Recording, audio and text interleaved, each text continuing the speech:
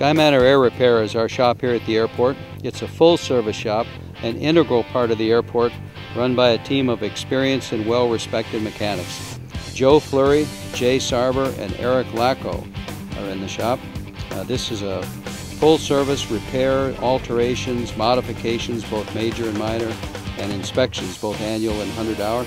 Eric can repair radios, uh, instruments, uh, he can do pitot-static inspections and transponder inspections.